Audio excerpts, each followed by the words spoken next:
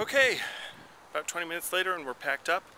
And as you can see from the trunk, we are cram full there.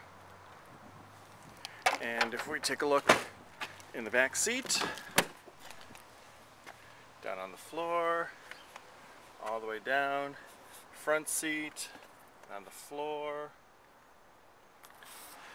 So thanks to everybody who participated. I think we did some really good work. Hope we make a nice little difference in some kids' lives. And uh, let's go deliver some toys. Bye.